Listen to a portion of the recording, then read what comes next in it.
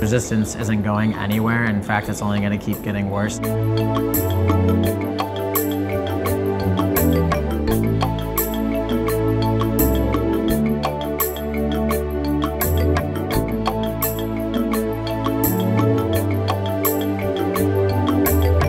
Our concentration needs to be on the patient.